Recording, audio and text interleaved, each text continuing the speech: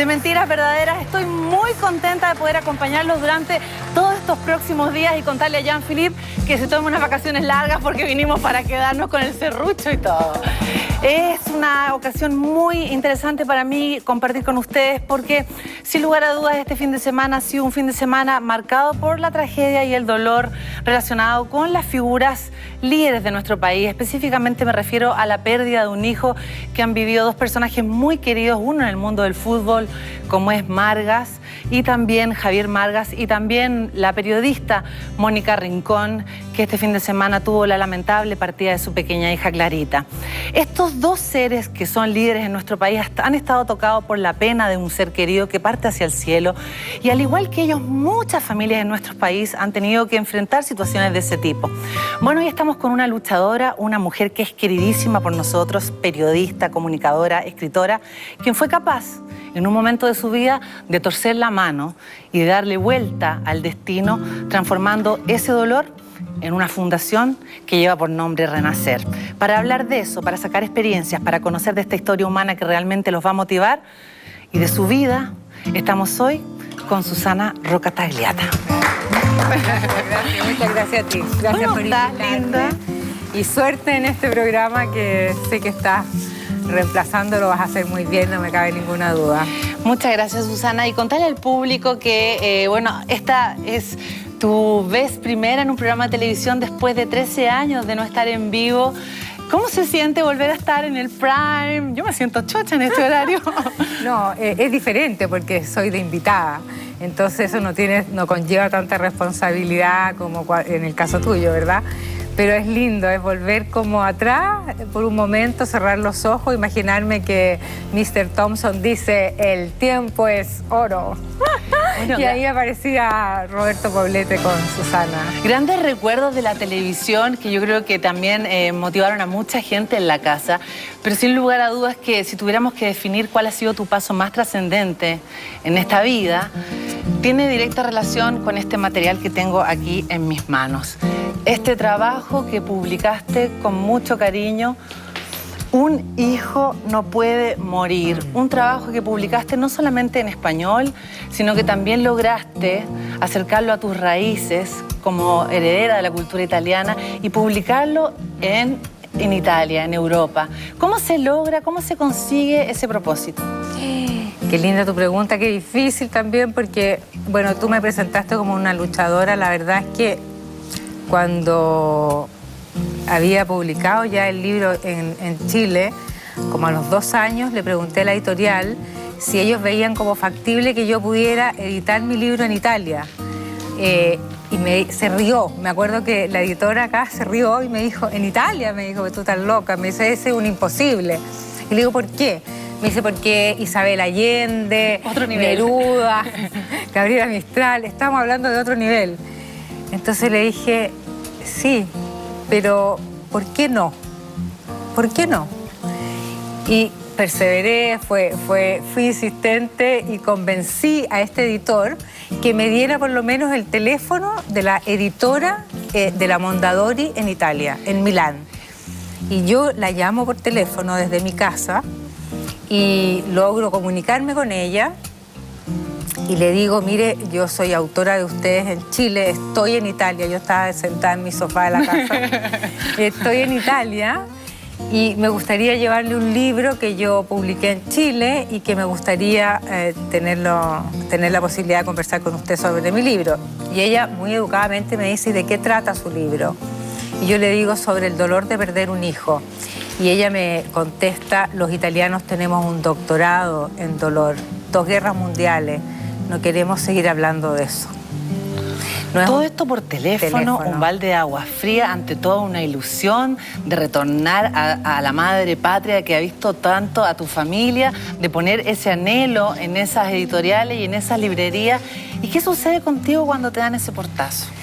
No, lo que pasa es que eh, yo le digo, mire, yo estoy en Italia y, me gustaría tener la posibilidad de por lo menos, yo voy a Milán eh, la próxima semana, imagínate, las mentiras que yo estaba Sacando diciendo. pasaje apuradita, corriendo. Bueno, y, y, me gustaría al menos llevarle el libro. Y ella, como yo creo que bueno, ya me dice, ok, eh, venga el jueves, me dice tal cual a las 5 de la tarde. La cosa es que voy, ese logro, me subo al avión, bueno, qué locura, ¿ah? pero yo quería repatriar a mi familia, como que ellos habían tenido tanto de este país y yo quería llevar a través de la historia de Francisco de nuevo a mi familia para allá.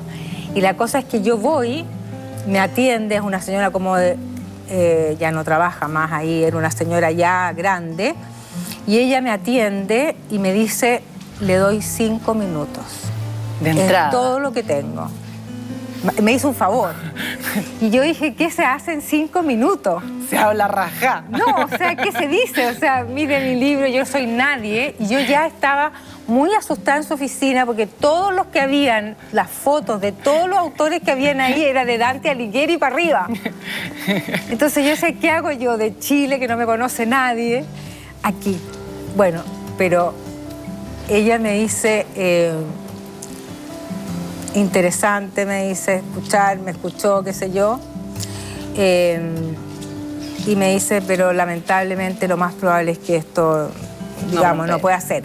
La cosa es que, como de nuevo por ser ella muy amable, me dice, pero déjeme el material que usted me ha traído. Y yo antes de irme le digo, bueno, muchas gracias, yo tengo un teléfono acá en Italia si usted quiere llamarme. Bueno, yo sabía. Me fui llorando a Mare, yo les puedo decir una cosa, que en el taxi que yo me fui de vuelta al hotel, porque esto quedaba a las afueras de Milán, fue tanto lo que lloré que el taxista cuando me fue a dejar al hotel me dice, señora, ¿se quiere tomar un café conmigo? sí, obvio. Era, era, el hombro que se necesitaba en ese momento. Bueno, lloré, Y el café fue el más dulce que tú pudiste haber tomado alguna vez. ¿De qué conversaba? Señora, si usted publica el libro voy a ser el primero en comprarlo, pobrecito. ya. consolada. Bueno, la cosa es que este libro, que es una realidad, ¿verdad? Hoy día... Eh, yo me estaba yendo ya al aeropuerto, en el hotel, y suena mi teléfono celular. Y me dice una persona, eh, soy la secretaria de la señora Tansi, que era la editora, ella le va a hablar. Yo dije, qué amable, ¿cómo sabrá que me voy hoy? me está llamando para Sí, para decirme chao. Bueno, y me, me, me dice, ¿sabe, señora Rocatagliata? Me dice, eh, las seis personas encargadas de las, de las ediciones de autoayuda leyeron su libro y quedaron todos de acuerdo en que valía la pena que se publicara en Italia. A ver, ¿Cómo te explico? ¿Qué fue lo primero que se te vino a la mente al momento de recibir esa noticia? La primera señal de que Francisco había estado ahí, que él iba a volar este volantín por todas partes, que me había ayudado que los milagros existen y que cuando te dicen algo que no es posible, lo imposible no existe, es un hecho, es una palabra. Tú tienes que seguir tus sueños, los jóvenes tienen que creer en ello. La gente, a todo el mundo me decía, no, ¿cómo te, te ocurre? Vaya a ir a Italia, pero si en Italia, ta, ta, ta, ta, ta, ta, te va a ir mal. ¿Sabes qué? Por lo menos hice el intento. Y yo creo que el, el, este logro, ¿verdad?, de, que, finalmente el libro estuviera en italiano, no fue un mérito mío. Pero yo creo que siempre he creído que mis abuelos que estaban, estaban muertos, ¿verdad?, toda mi familia eh, me ayudó de arriba. Eh, eh, era un milagro. Hablas de un milagro, de algo que se provocó de una forma eh, casi mágica, ¿no? De que tu sueño se hiciera realidad y yo creo firmemente en lo que tú planteas porque en mi vida también he podido comprobar lo que es así. Pero hay otro, otra gran señal que recibes de la mano y, una vez que el libro es publicado en Italia, eh, de un líder carismático ah, importantísimo. Qué lindo que tú me lo digas, porque en realidad hay muy poca gente que sabe eso. Fue, fue muy impresionante, o sea, muy bonito. Quizá es, es ese hecho, eh, y que yo te digo, lo llevo siempre en el corazón, es la cosa más importante que me ha pasado después de la muerte de Francisco. Em, en el año 2013 se publica un año después que yo voy a hablar con esta gente en Italia se traduce, se demoran un año en traducirlo y se publica en septiembre de ese año. A mí me llevaron a Italia, me invitaron a algunos programas de televisión, incluso estuve en Radio Vaticana Y la cosa es que, bueno, todo bien, me volví a Chile, se me olvidó el libro claramente. Y para el 8 de diciembre, que es el Día de la Virgen, ¿verdad? Muy pronto a celebrarse. Esto se transmite Urbi et Orbis. Eh, ese fin de semana de ese año, eh, yo iba a la playa y habíamos invitado a mi madre que fuera con nosotros. Y mi mamá me llama en la mañana y me dice, sabes que no me siento bien, amanecí como con dolor de estómago, no voy a ir con ustedes. Bueno, ya nosotros nos fuimos con mi marido y mis hijos. Y estando en la playa, eh, veo que mi marido contesta mi teléfono, que era el celular que sonaba, yo estaba afuera regando, que me encantan las plantas, y yo estaba regando y, veo que Pato contesta y dice, ¿qué, qué, qué pasó? Y se asusta mucho y yo lo veo asustado y pensé que a mi mamá le había pasado algo. Lo primero que uno piensa. no, y que no se sentía bien, acuérdate que me había llamado en la mañana y todo. Bueno, resumen, para hacerte el cuento corto, que a pesar de que esto no se puede contar así, porque no me sorprende que me lo preguntes, eh, me pasa el teléfono y yo le digo, mamá, mamá, ¿qué te pasa? ¿Qué tienes? Y, no, y llorando, mi mamá, Mare, así, pero a Mare, yo creo que me salía agua por el teléfono. Y me dice, no, es que tú no sabes lo que he visto, no sabes lo que vi en televisión. Y le digo, ¿qué viste, mamá? Ya me quedé tranquila porque lo había visto en la tele. Un poco exagerada, medio italiana, y que yo está sobre reaccionando. Bueno, y me dice, mira, yo estaba viendo la transmisión en la RAI de, esta, de esta Eucaristía del Papa, y cuando termina la misa, el Papa dice, por favor, dice, le digo a todos los cristianos que hagan regalos con sentido en esta Navidad. Regalen libros y empiezan a aparecer en pantalla libros. El libro de San Francisco, el libro del padre de San Antonio de Padova, en fin, de muchos santos importantes. Y en el número 8 aparece Un figlio non può morire de Susana Rocatagliata, de la escritora, dice, eh, italo-chilena Susana Rocatagliata. Bueno, yo escucho esto, yo no lo podía creer, me puse a llorar a Mare, yo también. No le podía creer a mi mamá. Pero ¿cómo lo interpretamos? Y yo creo que el punto es ese, es decirle a todos los papás, todos los que hemos perdido hijos, que son nuestros ángeles compañeros, que están ahí, que nos apoyan en todo. Francisco me estaba diciendo, mamá, papá, hermano, feliz Navidad. Absolutamente. Una fecha tan triste ¿me entiendes? Tan profundamente dolorosa, sobre todo para quienes enfrentan su primera Navidad eh, sin ese hijo que no está, en que uno no sabe cómo sobrevivir a los villancicos que están en todos los supermercados, que tú dices qué lindo, lo odio, perdón, los odié en su momento. Eh, no podía ver el arbolito, me costaban las pelotitas, bueno, bien triste eso, pero mi hijo me decía, mamá, papá, feliz Navidad, eh, estoy con ustedes. Imagínense, me dice, yo pienso, ¿no? Me dio una explicación. ¿Quién más cercano a Dios podía leer el libro sino el Papa? Absolutamente. ¿Quién más cercano? Absolutamente más ¿Dónde trascendió hasta dónde llegó el libro? O sea, realmente tú tenías que pensar qué nos pasó a nosotros. O sea, yo soy muy agradecida a la Virgen de Dios, creo fervientemente en el Padre Pío, cualquier cantidad. Y a San Francisco yo decía gracias, gracias, gracias, porque este es el regalo más lindo, decir que sí, nosotros nacemos a la vida después de la muerte. Absolutamente. Y eso es, yo así lo pienso. Susana, ese hecho que, que nos conmueve y que personalmente me emocionó mucho al momento de leer tu entrevista, tu pre-entrevista y preparar eh, esta conversación, que espero que ustedes en la casa también les esté interesando. Eh, yo lo leo personalmente como una tremenda señal. Y a lo largo de tu vida, a lo largo de este, de este transitar, se han manifestado más de una vez esas muestras de amor desde el cielo, porque quienes creemos que la vida es solo un paso, pienso personalmente, esta es una opinión muy mía, de que nuestros seres queridos están aquí, Siento a mi abuela, a mi abuelo, que nos están acompañando, que nos, dan señales. Personalmente he vivido también momentos así. ¿Tú consideras que esos pequeños milagros hay que aprender a leerlos de qué forma? ¿Cómo tú los empiezas a sentir? Como también un reflejo para explicarle a la gente en la casa que abra los ojos. A veces uno no ve lo suficientemente bien. Bueno, mira, pasó bastante tiempo antes de que yo pudiera llegar a, a, la, vivencia actual, ¿verdad?, de la muerte, porque cuando ocurre un hecho de esta naturaleza es un invitado de piedra. Tú dices, ¿cómo pudo entrar a mi casa? ¿Por qué? ¿Por qué? Yo no lo quería. Todo se vuelve negro, oscuridad, no hay luz, no hay, no hay, no hay nada, no hay vida. se apaga todo, la televisión, la radio, todo. tú dices, ¿cómo volver a respirar? Te cuesta respirar te cuesta levantarte en la mañana, tú dices, ¿cómo voy a volver a, sonreír, a, gozar de un pedazo de chocolate, de algo simple? ¿Cómo? ¿Cómo incorporarme a la vida?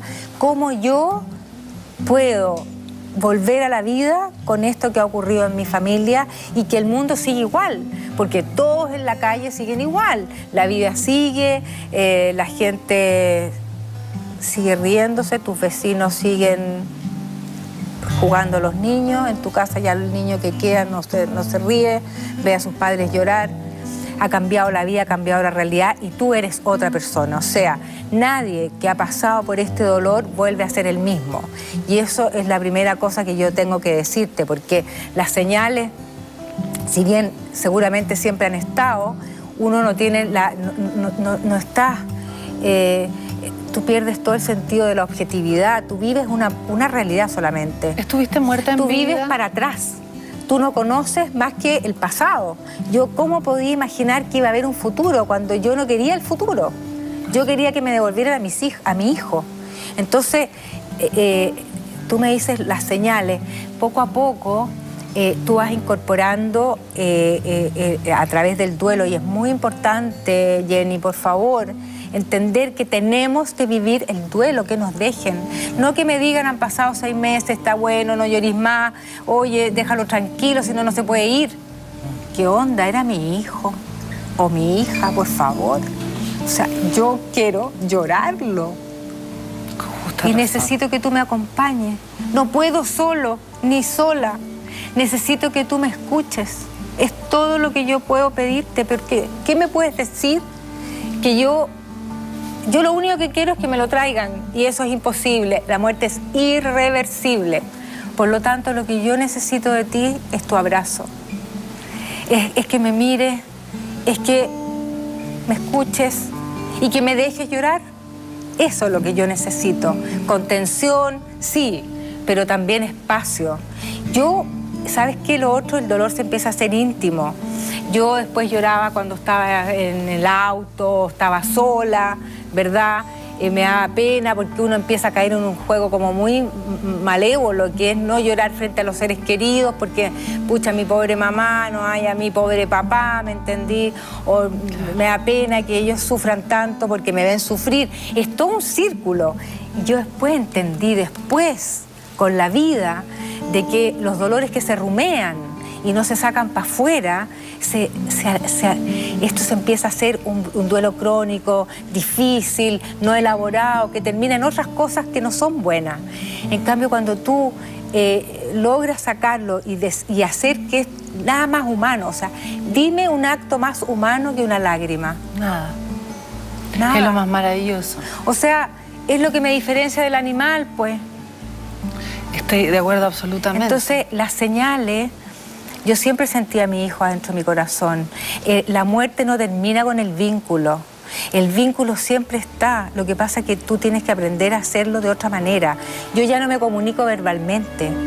¿Me entiende? no hay una relación física de abrazarlo, de besarlo, de sentir el olor. Yo empecé a dejar de sentir esas cosas que al principio yo tenía la voz presente, tenía el olor. Eh, tenía esa manito que me trepaba, que me llenaba de manjar, de chocolate, que me tiraba el pelo, porque siempre tenía harto pelo, entonces me tomaba el pelo y me dolía, y Francisco me tiraba el pelo, pero, pero esas cosas con el tiempo como que se iban distanciando, pero lo que queda es lo otro, lo fuerte. Ese hijo está siempre con nosotros, nos acompaña, él está ahí en una relación, como yo digo, directa, de línea directa, que no tengo que tener ni un teléfono con él. Pero que se hace presente en muchas cosas en la vida de sus hermanos. Cada vez que un hermano tiene un logro, también es el logro Francisco.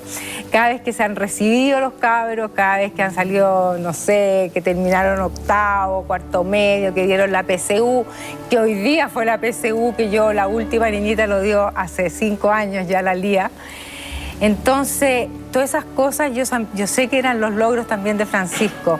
Francisco está presente en la vida de otra manera. Absolutamente. Y, para contarle al público, porque tuviste el privilegio de compartir con él cinco años, de regalonearlo, besarlo, enseñarlo a caminar, a hablar, a leer. Temas que para uno como madre son demasiado emocionantes, sobre todo cuando nos ha mm. tocado vivir episodios difíciles con nuestros hijos. Mm. ¿Cuál fue la primera señal que tú percibiste con tu marido que dijiste, aquí está el milagro de la presencia de Francisco en otro plano, en otra dimensión? Su energía está, no físicamente, pero está con nosotros de otra manera. ¿Cuál fue el primer guiño que él te mostró? Bueno, fue un dibujo. Eh, muere Francisco, como a los tres meses más tarde aparece una profesora en mi casa y me dice, ¿sabes, Susana? Yo tuve que dejar pasar un tiempo porque no me atrevía a venir, porque no sabía cómo iba a tomar este dibujo que hizo Francisco. Y por eso el volantín amarillo, ¿ya? Y que lo voy a mostrar, porque este volantín que hizo Francisco eh, en el colegio, que era amarillo, porque a él yo lo tuve que enterrar de amarillo. Él, él me decía siempre, mamá, eh, eso me gusta porque es amarillo y él se vestía, le compraba la polera amarilla, el pantalón amarillo, cosas raras en un niño. Pero yo como le da el gusto en todo, porque a, mis dos hijos siempre les di el gusto en todo y ahora a mis tres, em, le compraba ropa amarilla. Y el, volantín que dibujó en el colegio decía, mamá, este soy yo, oh. siempre te estoy mirando. Y él firmó FR, que era lo único que sabía hacer, porque lo otro lo escribió la profesora. Y cuando la profesora me muestra este dibujo y me dice, mire lo que está escrito, la verdad es que yo me puse a llorar. Obvio. O sea, nadie muere un día antes ni un día después. No es casualidad. Para nadie el bus pasa antes. No me preguntes por qué mi hijo tenía que solo vivir o pasar por esta tierra tan solo cinco años. Pero yo te voy a decir una cosa, Jenny. Ese niño que pasó cinco años, que para otros es un soplo de vida, para mí tiene más valor que un niño que haya vivido un ser adulto 80 años. Porque lo que él dejó en esta tierra, tantas semillas, que son como ese granito, esa pepita, ¿verdad? Eh, eh, eh, esa pequeña mostaza, esa cosa que, que ni se ve, esa cabeza alfiler, pero que ha hecho tanto, ha dado amor a esta familia, hizo un milagro de que nosotros hubiéramos podido ser papás, de nuevo. ¿Cuántos padres no pueden volver a tener un hijo y tienen un hijo único que el que se fue? Ese se fue, era su jardín y no está más. Y ellos han salido adelante. Esos son para mí los verdaderos héroes de este país. Porque eh, sucede la pérdida de Francisco y al año siguiente te queda esperando guagua. te queda esperando guagua de una forma no, en realidad eh, yo creo que fue el Espíritu Santo. ¿ah? Yo quiero hablar de eso, quiero seguir eh, metiéndome un poquito más en tu vida, ahondando en todas las experiencias que me puedas contar, pero voy a pedirle al público que me esperen un segundito, porque vamos a hacer la primera pausa de esta noche en Mentiras Verdaderas. Acompáñennos, tenemos mucho más tema para ustedes. Ya volvemos con Susana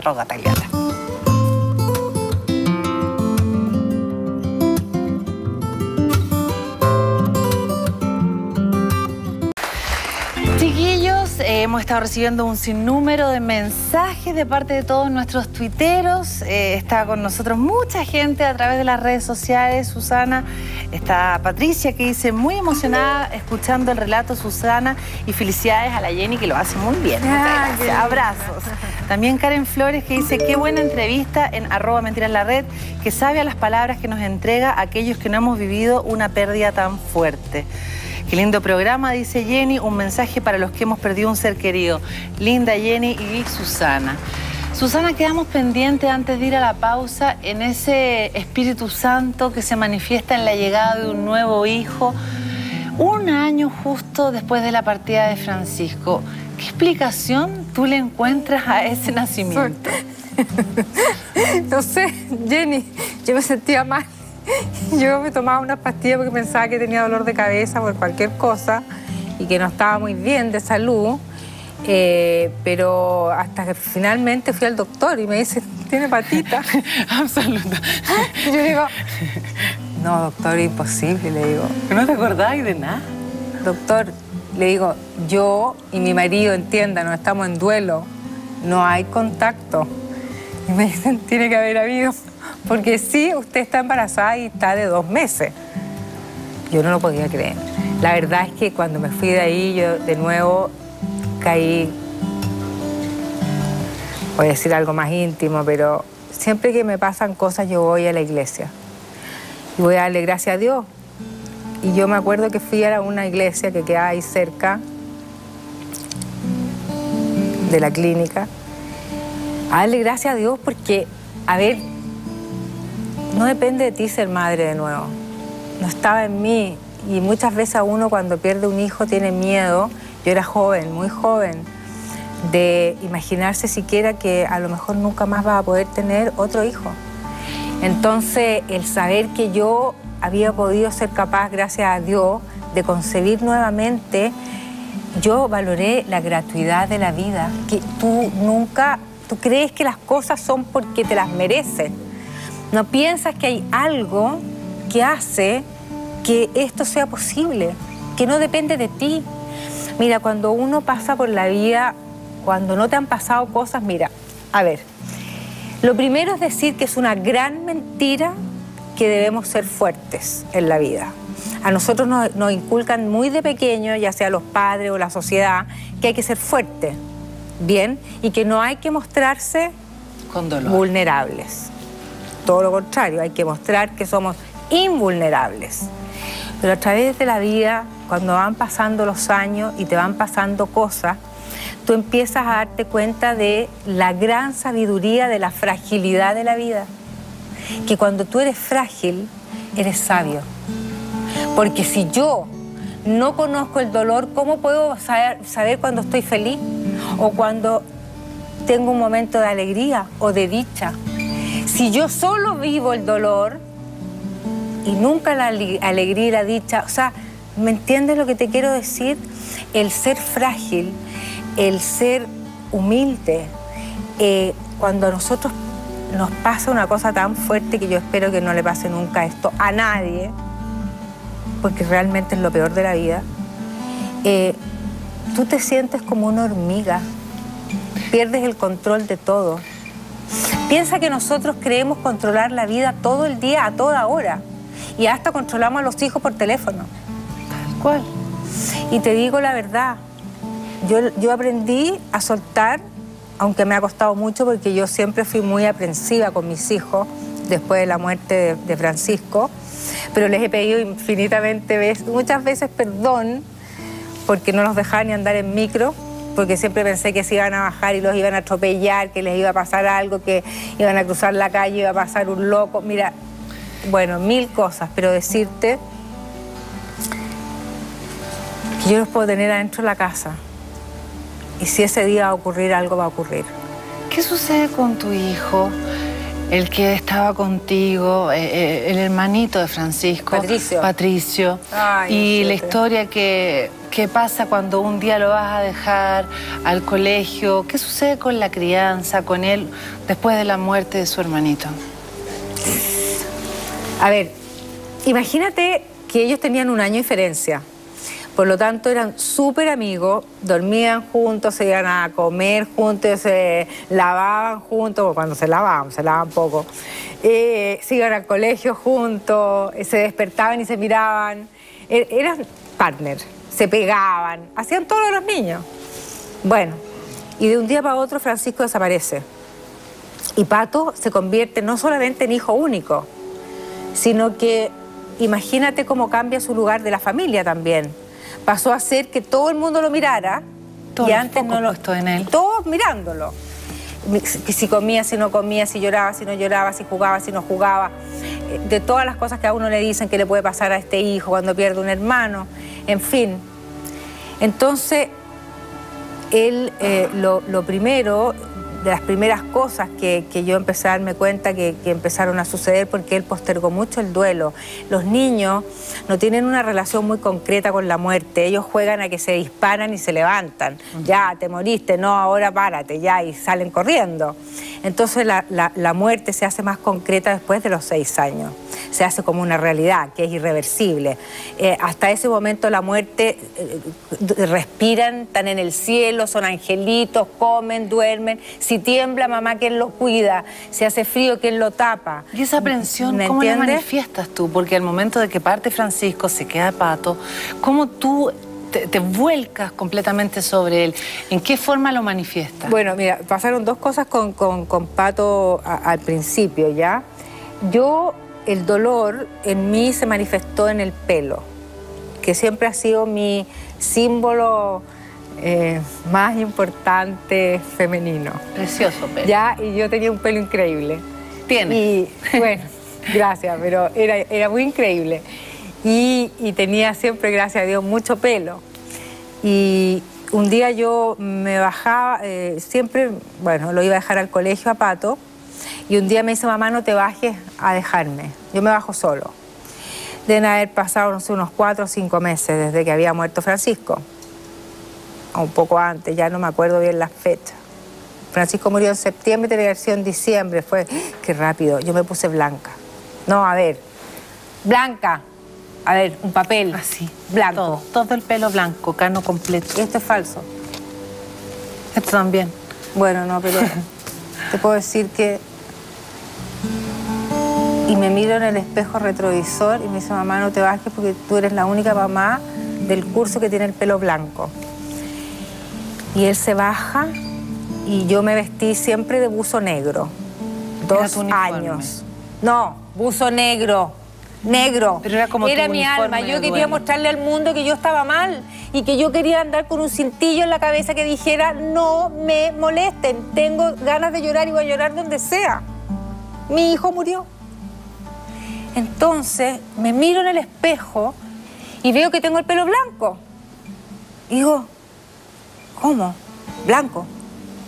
Y fui a una peluquería y le dije, cámbiame el color. Y me dejan roja. Y me acuerdo que voy a buscar a mi hijo al colegio después, cuando salió, y me me dice, mamá, con esos ojitos, ya no tienes el pelo blanco. ¿No te gusta? Sí, y yo me puse a llorar y le dije, Pato, le dije, voy a hacer todo lo posible, todo lo que esté en mí, para mostrarte que esta vida vale la pena. Tu mamá no está bien ahora, pero algún día voy a estar mejor, te lo prometo. Él era chiquitito y me acuerdo que me tomó la mano. Eso fue como lo primero que me pasó con él. Y, y lo segundo es que no sé si contártelo. Son cosas bien íntimas, Jenny. Yo nunca he hablado de estas cosas. ¿ah? Me estáis sacando. buena entrevistadora, muy buena. Em, yo nunca lo había dejado andar en micro. esto lo cuento porque en el fondo son muchos los papás que han actuado también como yo y, y la verdad es que ojo con eso. Uno se pone aprensivo y se pone Nunca lo dejé andar en micro. Qué nervosa, además, ¿no? no, llena de miedo. ¿Me entiende? Que uno dice, ¿de qué me sirven? Si lo que va a pasar, va a pasar. Bueno, la cosa es que yo me quedé sin pan en la casa. A mi marido le importa mucho que haya pan. Es como el único tema que para él es importante, el pan de la mañana, del desayuno. Y yo estaba con los dos niños ya nacidos, la Lía, que tenía tres años, y, Cristian, que ha tenido siete, y Pato, que ya tenía, no sé, por trece. Y, le digo, Pato, no hay pan. Y, yo no podía, pues no tenía ni auto para ir a comprar pan. Y le digo, ¿puedes ir en micro? Y me mira, ¿en micro, mamá? Yo. Solo. Solo. Sí, tú. Bueno. Le di todo tipo de instrucciones. Yo había calculado que se iba a demorar media hora. Le dije dónde sentarse, dónde no pararse. Mira, ten cuidado que cruza la calle, que bájate si el chofer tiene que parar la micro, no te bajes nunca con la micro andando. Mira, todo tipo de instrucciones. La cosa es que llega, y esto es bien increíble, me mira. Yo me quedé siempre en la puerta de la casa esperándolo con los dos niños ahí sentados a la media hora. Y él llega, se baja la micro, llega corriendo a la casa con la bolsa de pan así y me dice, mamá, lo logré. Lo logré. ¿Te das cuenta la pena que me dio? Lo mal que me sentí. Un niño que le estaba cortando las alas. Que lo estaba llenando de miedo, de temor. Un niño que no iba a poder nunca ser feliz. Porque le iba a tener miedo a todo. Y yo le estaba traspasando mi miedo a él. Entonces, no hagan estas cosas. No las repitan eh, a Pato le ha costado N, pero Pato hoy día es un chiquillo que tiene 33 años, fantástico, extraordinario, sensible, buen amigo, súper paleta. Me entendí, eh, es muy empático con los amigos que han sufrido o que han tenido problemas en su casa. Eh, es un ingeniero comercial hoy día que trabaja, que saca la mugre, pero un gran amigo. Conversamos con Susana Rocataliata acerca de esta maravilla que ya está en su undécima edición. Eh, bueno, esa era la décima y esta es la undécima. La, nueva, esta es la versión nueva del libro. Un hijo no puede morir, un trabajo que es una experiencia para seguir viviendo Ahí está la undécima edición, un, trabajo literario de nuestra invitada de hoy, periodista muy querida, reconocida por todos ustedes, que no solamente ha sido editado en nuestro país, sino que también en Italia y recomendado incluso hace algunos años por el sumo pontífice para ser leído como un bonito regalo para la Navidad. Susana, tengo claro que la resiliencia, esa manera de enfrentar el dolor y la muerte, no solamente viene arraigada en ti, en esta experiencia dolorosísima que te ha tocado vivir con la partida de Francisco, sino que es algo que está en tu código genético, heredado incluso de lo que ha vivido tu padre, tu familia, tu familia en Italia. ¿Puedes contarnos parte de lo que te tocó a él vivir en la Segunda Guerra Mundial? Estáis bien informada, muy bien. Bueno, la verdad es que yo vengo de una familia donde la muerte siempre rondó y tal vez eso me ayudó a mí en mi proceso de duelo. Eh, es importante decir que los duelos duran el tiempo que tienen que durar. A mí eso de que te digan, mira, un año voy a estar mal, dos años voy a estar, no sé. Yo llevo 26 años y yo vuelvo al punto cero cada vez que sé de la pérdida de un niño. De, ya sea estos casos eh, de gente más conocida, ¿verdad? Como los anónimos, que andan todos los días, nos pasa pasa, esto pasa desgraciadamente todos los días. Eh, mis abuelos, mis padres, eh, mi familia eh, vivió la guerra en Italia, la Segunda Guerra Mundial. Eso significó que mi abuelo, por ejemplo, tuviera que irse al frente, fue tomado prisionero, estuvo dos años en un campo de concentración. No voy a contar el motivo de por qué cayó preso, él era un oficial, alto oficial, eh, que estaba en Etiopía en el momento en que Mussolini lo matan en Italia, ¿verdad? Bueno, lo toman detenido. ¿Y por qué te cuento esto? Porque estas historias que a mí me contaron de chica, eh, cuando ellos llegaron, que llegaron a Argentina, pues lógicamente los italianos iban a, Buenos Aires o llegaban a Nueva York, eran como los polos eh, después de la guerra, ¿verdad? y mis padres llegaron a Buenos Aires eh, la verdad es que ellos siempre, me, bueno, de partida comete hasta el perejil del plato, no podéis dejar nada porque ellos pasaron hambre. Entonces era una familia muy austera, de mucho trabajo, de mucho esfuerzo y eh, de mucho empuje y muy resiliente. ¿Por qué lo digo? Porque resulta que ellos fueron capaces de aprender un nuevo idioma. Mis abuelos también, aunque nunca pudieron decir J, Imagínense, nosotros le decíamos, di caja. Por supuesto, nunca pudieron decir caja, porque no salía, el italiano no tiene la J, entonces decían caca. Ya. Y nosotros era como el mejor chiste, nona, nona, di caja. Ya en la nona repetía caca, qué sé yo, y todo jajaja. Entonces, esta familia que se trasplantó, digámoslo así, en busca de un mejor futuro para sus descendientes porque por eso emigraron. Los emigrantes no eran gente extraña, no, los emigrantes lo pasaron muy mal. Habían pasado hambre, habían vivido la guerra, se habían muerto la mitad de su familia los hermanos, los tíos, los vecinos. Mi propia madre se salvó. De una bomba. Lo leímos todo. Oye, mi propia mamá se había salvado eh, eh, en, en un bombardeo, ¿verdad? Se meten a estos refugios, mi mamá se pone a llorar que quiere salir, quiere salir, mi abuela la saca a ella y saca a sus hermanos, que eran tres, en ese momento, después nació otro, y eh, la, vecina de la casa mi abuela sale con sus hijos, porque mi mamá lloraba y lloraba, y resulta que la bomba cae ahí y se mueren todos. ¿Por qué? Mi mamá y su familia y la vecina no era el día de ellos. Eso hay que entenderlo. La muerte no llega el... porque sí, por casualidad. llega nadie todos se mueren el día que debe ser. Uno tiene que aceptar la aceptación y la resiliencia. Mira, ser resiliente es aceptar una realidad, aceptarla. Yo no puedo cambiar la muerte, no puedo cambiar ese hecho. Yo tengo que aceptar ese hecho. ¿Y cómo se acepta? No con resignación. Es algo que yo no puedo cambiar. Pero ¿qué hago con lo que la vida me hizo? Eso es lo importante. Es, usar el tiempo a mi favor y no que el tiempo pase en sí y que pase como arena entre los dedos y no sirve para nada. Yo tengo que ser activa, proactiva con el tiempo. Eso es lo que tiene que hacer usted en su casa. Lo que le ha pasado, hay mil dolores, este es el peor, pero hay otros dolores, todos vivimos un dolor.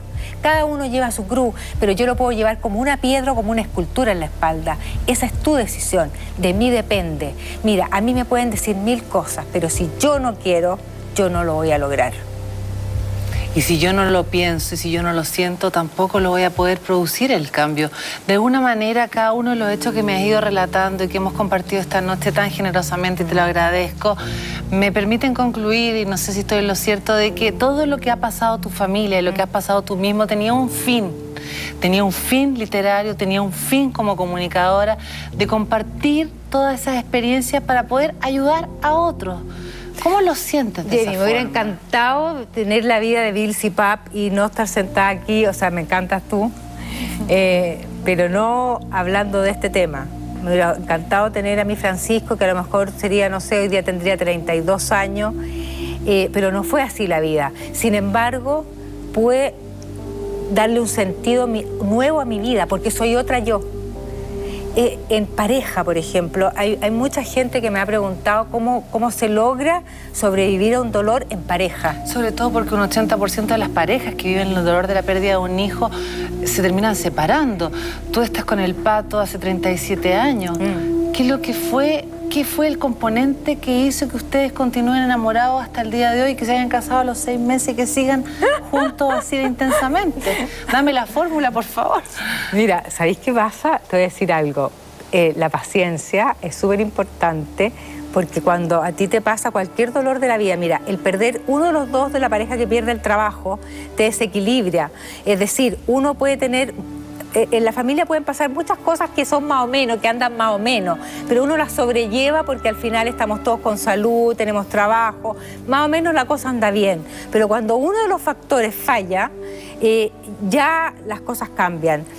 Yo cambié mucho porque obviamente tus prioridades son otras. O sea, eh, por ejemplo, para mí antes era importante verme bien, vestirme, andar más o menos a la moda. Después no me importó nada. ¿Qué me podía importar? Algo tan frívolo, sin sentido. Quedaba lo mismo, era cubrirse, no vestirse.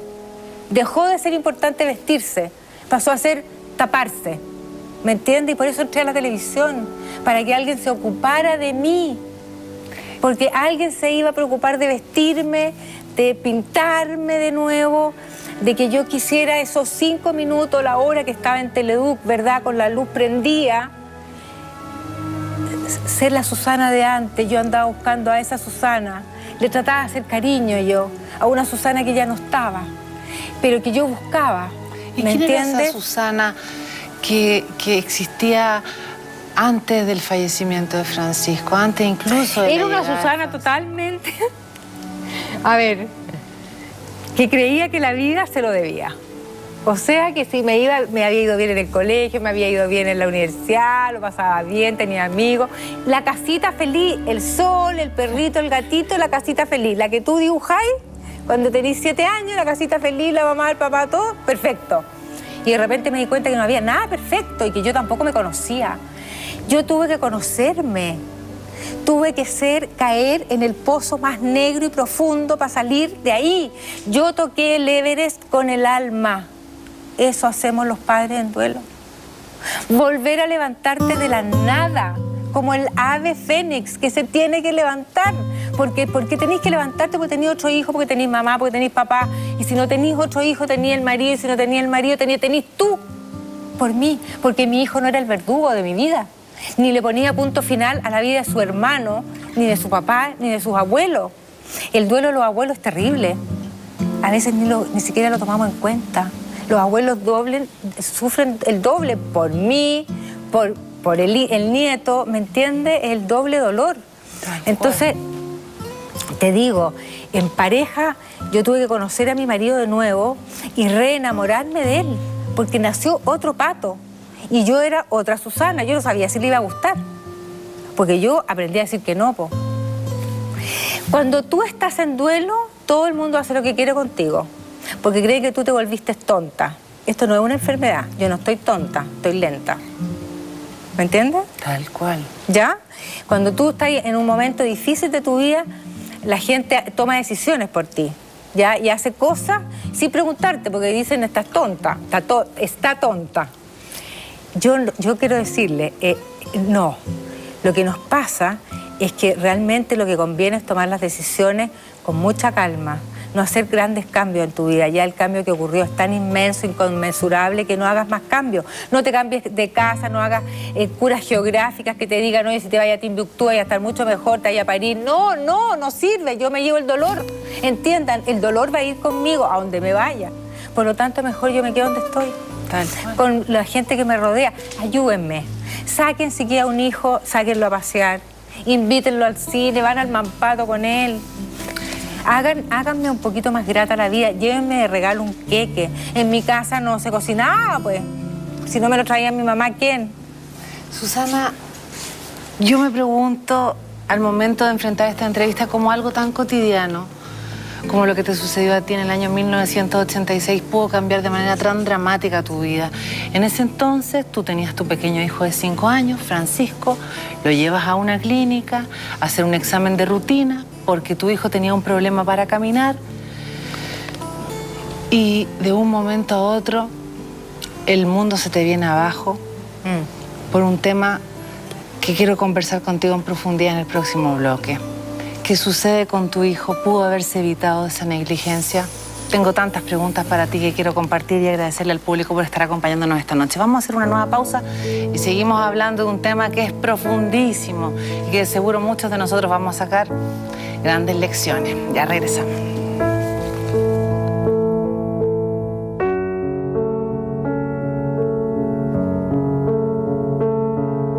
Y seguimos conversando en esta noche de emociones, de, afecto, de cariño y de un relato que yo creo que a mucha gente nos ha tocado el alma. Y te quiero llevar hacia ese escenario que quizás a lo mejor es el más difícil para ti.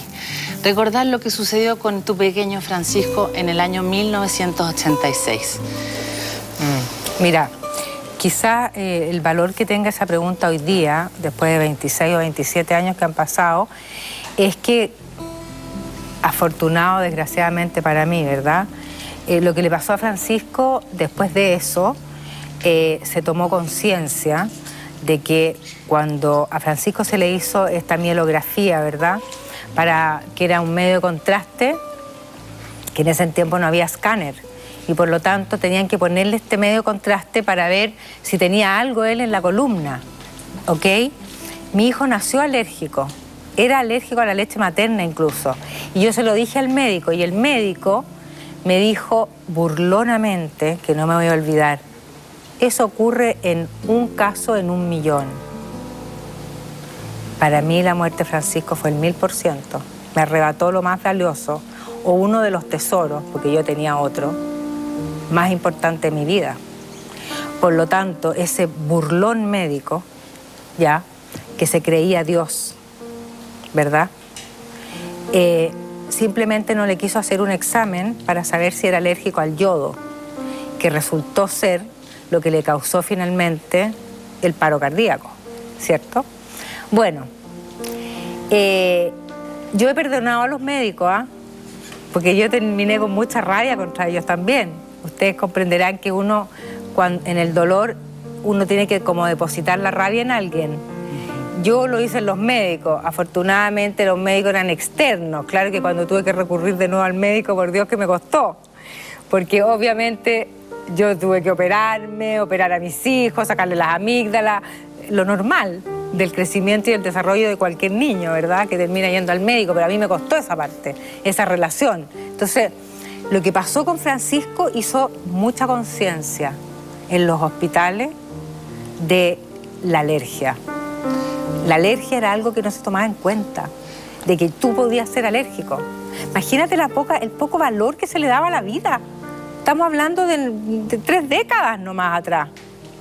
En ese momento estás con tu hijo pequeño, de cinco años, en la clínica.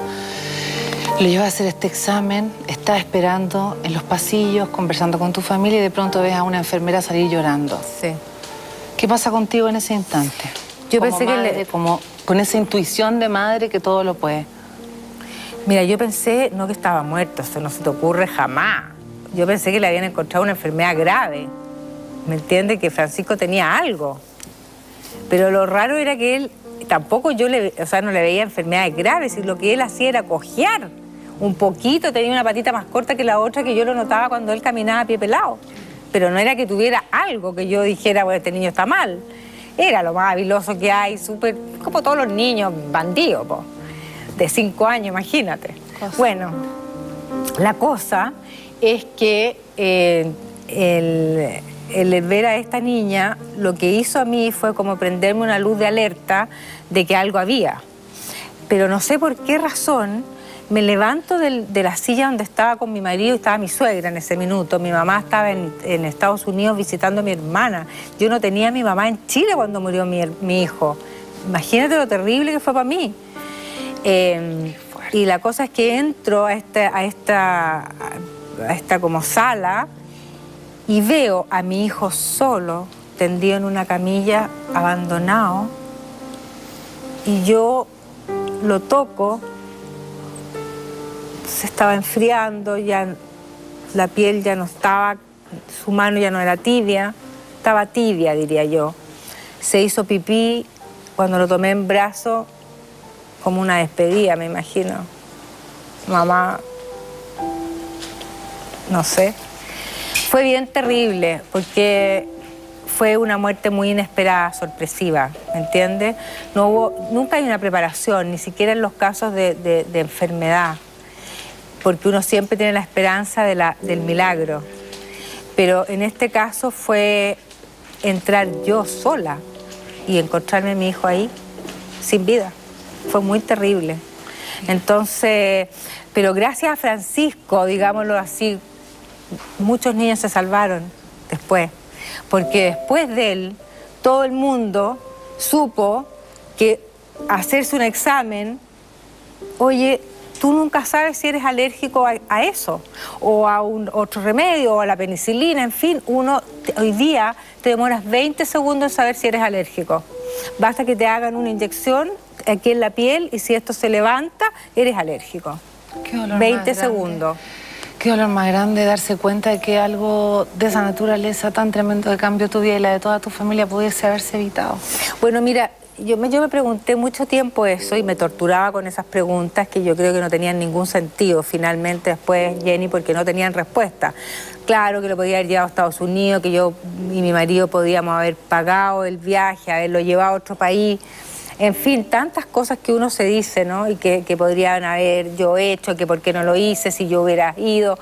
Es como, tantos papás en la Fundación Renacer, ¿verdad? Que, que, me decían, oye, si yo no hubiera prestado el auto, no habría tenido el accidente, y si yo no hubiera ido, y el si no fuera, el si hubiera, el si hubiese dejado de... Pero ¿cómo? Si, a ver, somos humanos, entendamos eso. Partamos diciendo que somos humanos. ¿Por qué a mí? ¿Por qué no a mí? Claro, ¿y por qué? Yo lo hice con la mejor intención. Yo lo llevé, según yo, a, un médico como buena mamá eh, que se preocupa de su cachorrito, de que esté bien, ¿verdad? De su niñito. Eh, que, ¿Cómo podía yo querer una cosa así para él? ¿Qué papá puede querer una cosa así para un hijo? Nadie. Ninguno. ¿Me entiende? Entonces, eh, primero que nada, decirle a los papás que hay un proceso del perdón. Perdón al otro, al tercero, al que puede haber causado, al causante. En Renacer, en una de las fundadoras de Renacer, su hijo murió porque era un chiquillo joven, ¿verdad? Y, murió eh, porque el que manejaba se quedó dormido. Eh, yo conversé mucho con ella, conversé con, otra de las fundadoras que había perdido a dos hijas en el mismo accidente de tránsito. Eh, en fin, tú te preguntas, ¿y si yo no le hubiera prestado el auto, no lo hubiese dejado ir? A ver, lo que tienen los dolores es que te, das cuenta de que tú eres humana, que tu alma es fuerte y grande, que, que puedes salir adelante, que puedes sobrevivir, ¿verdad? Eh, que puedes aprender a vivir, pero que finalmente estas cosas te ubican, te dan una realidad, te dan un marco, te dicen, ¿sabéis lo importante de dar, de amar, de ser solidario con el otro, de ser empático con el dolor de otro, de no juzgar al otro? Por ejemplo, mira, yo te cuento un hecho. A los ocho meses de la muerte de Francisco, nosotros fuimos invitados por unos íntimos amigos a matrimonio. Nosotros no habíamos ido a ninguna parte, por supuesto nos vestíamos los dos de negro. Mi marido bajó 20 kilos eh, en ese primer año. Eh, eh, y fue tanto lo que nos insistieron que fuimos. Nos sentamos en una mesa y nadie se sentó con nosotros. Nos miraban y se iban a la mesa al lado. Ah, oh, oh ¿cómo está? Y se iban para otro lado. ¿Qué te quiero decir con esto? Te quiero decir que seguramente si la pareja que estaba en esa mesa hubiesen sido otros, yo habría hecho lo mismo y me habría ido a sentar en otra mesa porque, pucha, que lata, me van a fregar el matrimonio. Pues, o por no saber cómo enfrentar. Pero lógico, ¿qué el le digo? el consuelo, el darte el pésame, cómo poder contenerte, porque muchas veces uno no es que no tenga las ganas de brindarse hacia los demás, sino que muchas veces, no sé, no sabes cómo hacerlo, porque cualquier palabra de aliento es insuficiente para una pena de esa categoría. Es que ¿sabéis qué pasa? Que a nosotros nos enseñan muchas cosas en la vida, pero nadie nos enseña a consolar ni a perder. Fíjate qué cosa más terrible. En la vida solo nosotros enseñamos a tener éxito, a ser exitosos. Vivimos en una sociedad sumamente exitista que te exige a niveles impresionantes, increíbles. ¿Me entendí? Y cuando te pasa que te va mal, o que no eres capaz de hacer algo que tú creías que todo el mundo piensa que tú lo eres capaz de hacer. Yo le digo a los niños que dieron la PSU, ¿me entendí? Que no se frustren. Oye, lo importante es volver a levantarse, dale otra vez. Si no se acaba la vida, no se acaba el mundo. Hay mil alternativas. Goza, sé feliz. No se te va nada. ¿Qué significa? Me fue mal. ¿Sabéis que me sentía mal ese día? No era mi día porque en un día del año yo tengo que estar con todos los sentidos y las pilas puestas para entregarme a un examen. ¿Me entendí que se me va la vida? No, por favor aprendamos que de eso justamente, de volver a levantarme en la vida, de volver a dar ese examen, de buscarle por el otro lado, eso hace que la gente aprenda y salga adelante. No es de los éxitos que yo aprendo. Yo aprendo cuando me va mal porque le busco por el otro lado. Por aquí me fue mal, tengo que salir por acá y si por acá también me va mal, me voy a ir por acá. Eso es ser resiliente en la vida. Es que siempre hay una oportunidad para ti. Búscala. Es como cuando te dicen, oye, yo no he encontrado el amor. no he tocado la puerta. Y extrañamente, en ese avanzar, en ese caminar y seguir creciendo, fue nuestro medio el que a mí me ha dado tanto cariño en estos 20 años de trabajar en la televisión, el que te tendió la mano.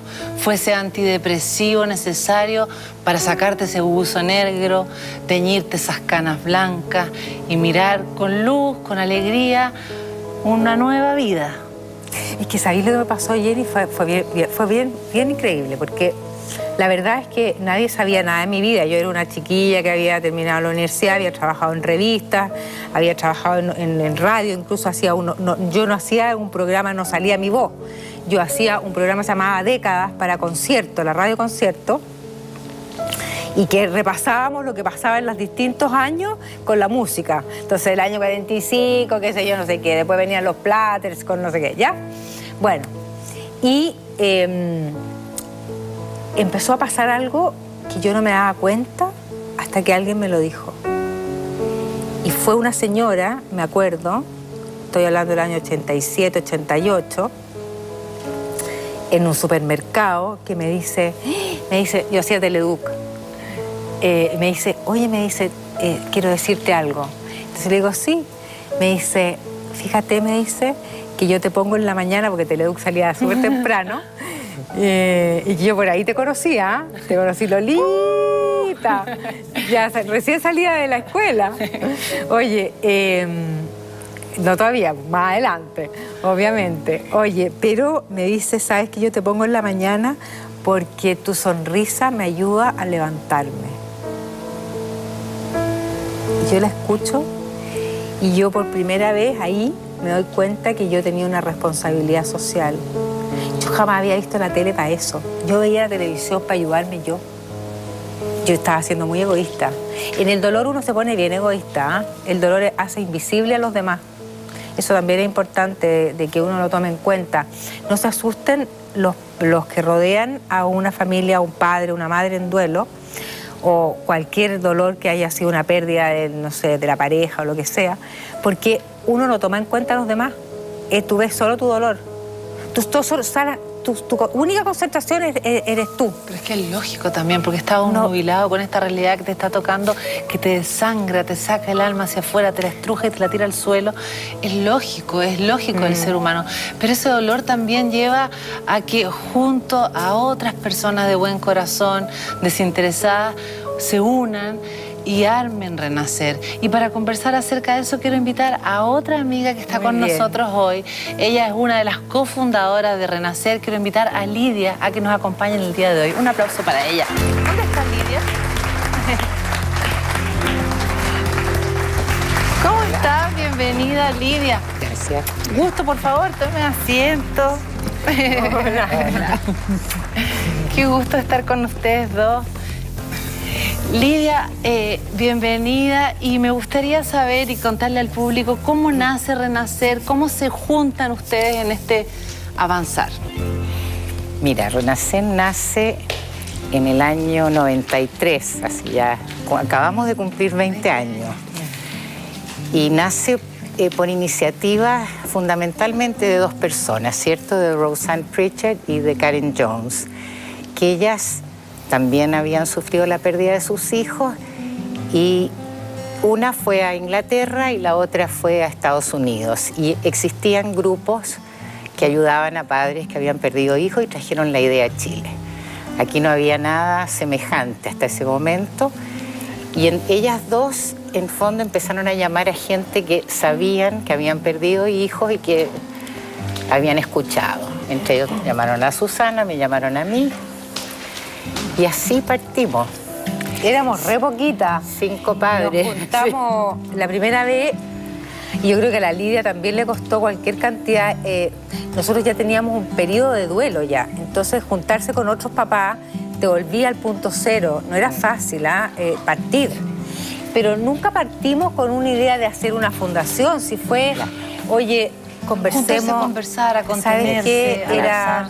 Sí. sí, sí, más que nada eso intercambiar experiencias, que eso te ayuda enormemente, o sea, poder hablar de tu dolor, sacarlo para afuera, como decía Susana antes, es, es fundamental, o sea, poder Hemos conocido la historia de Susana. El año pasado nos enteramos de la dramática historia de Pampita y Benja Vicuña. Este fin de semana lo sucedió con Mónica Rincón, eh, con Marga, con la pérdida de su hijo mayor en este accidente en una cuatrimoto.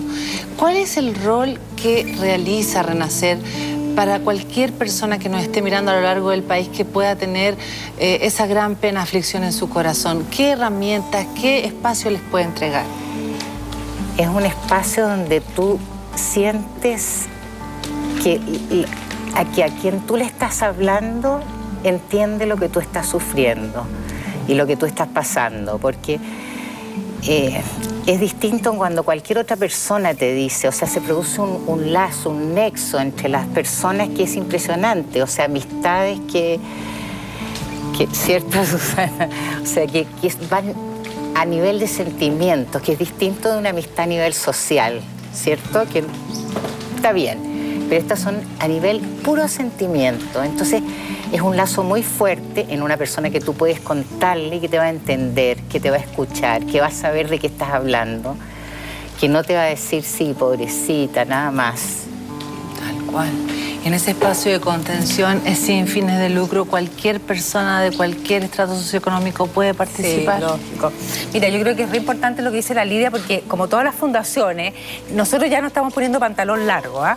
Em, Qué porque al principio, como, como, como partió eh, eh, todos éramos medio, eh, piensa tú, o sea, iniciándonos en el proceso de duelo. Y aquí hay un sistema como de monitores. Cada grupo tiene una persona que guía la conversación, ¿ya? Y todos pueden participar. es importante decir que cada uno de estos lugares tratar de que uno vaya al que está más cerca de tu casa, porque estamos a lo largo de todo Santiago. La Lidia puede contar esa parte bien, porque yo ya no estoy en el día a día de Renacer hace mucho tiempo, pero es importante decir que, primero, Renacer es un lugar en donde no hay ni credos, muy importante, abierto a todas las religiones. Eh, no, existe la política, da exactamente lo mismo. Aquí somos todos padres en duelo y que lo único que tenemos es el uno al otro para contenernos, para, por ejemplo, preguntarnos qué hacer en la primera Navidad cómo se puede enfrentar la primera Navidad, el primer aniversario de muerte, el primer cumpleaños. Son fechas muy importantes que se viven con mucho dolor en forma anticipada. Entonces yo creo que eso te ayuda a renacer. ¿Cómo podemos enseñarle a la gente, Lidia, dónde buscar la información, dónde están, eh, qué actividades se vienen en carpeta, sobre todo con lo que plantea Susana, el enfrentar esta Navidad ante la partida de un hijo? Mira, los grupos funcionan, ahí seis, ocho grupos en Santiago solamente. Eh, la sede central está en Pedro de Valdivia 710, en Providencia. Y la página web es lo, más fácil que te dé el, mail, digamos. Renacer Padres en Duelo arroba gmail.com. Ese es el, y la página es renacer, www.renacer.cl. Esa es la forma más fácil de, comunicarse a través de la central que te van a decir en qué grupo puedes entrar, o sea, depende de la comuna en que tú vivas, tratamos de tener en todas.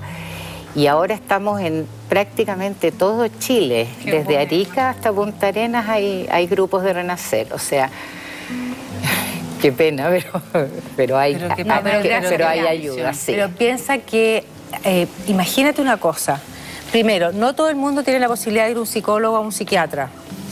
Eh, eso es muy importante. Había un vacío en la sociedad que Renacer llenó. Ocupó este lugar en el sentido de que pudo darle a la gente un lugar donde vaciarse, donde ir a expresar, oye, yo me estoy volviendo loca o es normal lo que me está pasando. Yo no sé cómo compararme cuando me ocurre algo y no conozco a nadie que lo ha vivido o que me miran como un bicho raro, porque obviamente tú puedes empatizar en el dolor, pero es imposible, imposible, gracias a Dios, ponerse realmente en el lugar del otro. Es más, a veces uno dice, chuta, yo siempre digo, esto no es contagioso. Yo puedo llorar contigo y tú puedes darme tu hombro, pero esto no te va a pasar, no tengas miedo. Tenemos mucho miedo de, de enfrentar el dolor lo vivimos como algo que nos podría llegar a pasar. Entonces los grupos de contención, que como dice Lidia están a lo largo de todo Chile, lo que hacen es recibir esto hasta papás. En general van más mujeres que hombres, tengo que decir que no. Les siempre nos ha a los pasado que los hombres les cuesta más porque eh, el hombre siempre vive en control de la vida. Y esto de mostrarse vulnerable, ¿verdad? No estar acostumbrados a decir el sentimiento, lo que les... eh, viven en el ser y en el hacer.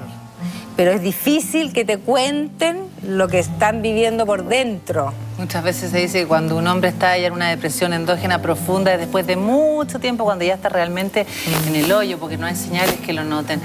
Yo de verdad quiero decirles que he tenido el privilegio de estar reemplazando a Jean-Philippe esta noche y haber podido tener esta linda conversación con ambas que estoy segura que va a calar muy hondo en mucha gente que vivió una experiencia similar. De verdad, de todo corazón, muchas gracias Susana, muchas gracias Lidia por haber estado con nosotros y mucho cariño a toda la gente que está trabajando con ustedes en Renacer. Un abrazo para mí, un abrazo para Mira, de despedirnos. todas maneras. Muchas, Muchas gracias. gracias por haber Muchas venido a gracias. acompañarnos. Muchas gracias. Bueno, Susana, gracias a ti, suerte, mucha suerte y decirle a, a- a todos que, que bueno, que Lidia que sigue trabajando en Renacer ahí le pone el hombro. Si necesitan de nuestra ayuda, ahí estamos. Linda. Muchas gracias a ustedes. ¿ah? Gracias. Las acompaño hasta aquí Muchas para gracias. que dejen la casa. Muchas gracias, Gracias. por esto. Gracias por este momento, chiquillas. Esta semana, específicamente el día viernes, tuvimos un vuelco absolutamente radical en una historia de vida que nos había conmovido a todos.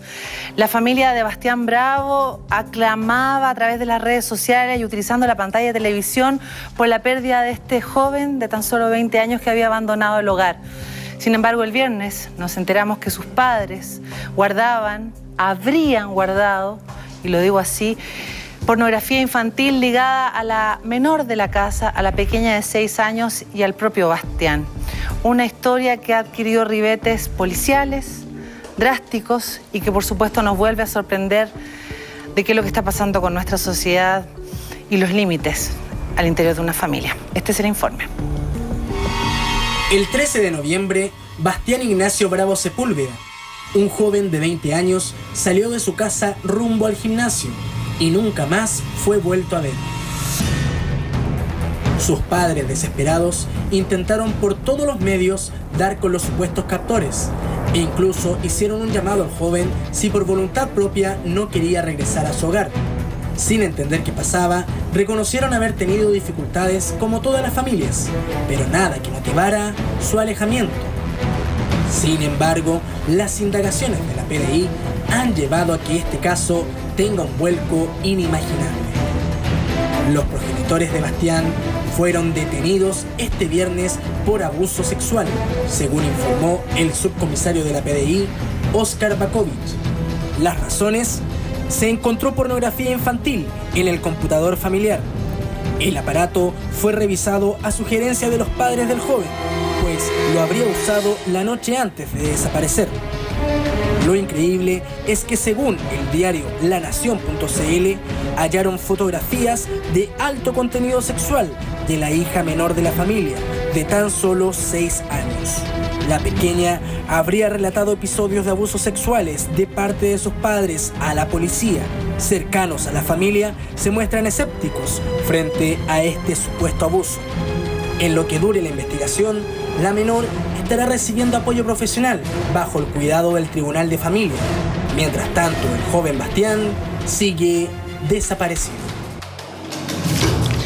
Ya chiquillos, estamos muy bien acompañados esta noche para hablar acerca de este caso que nos tiene absolutamente eh, sorprendidos.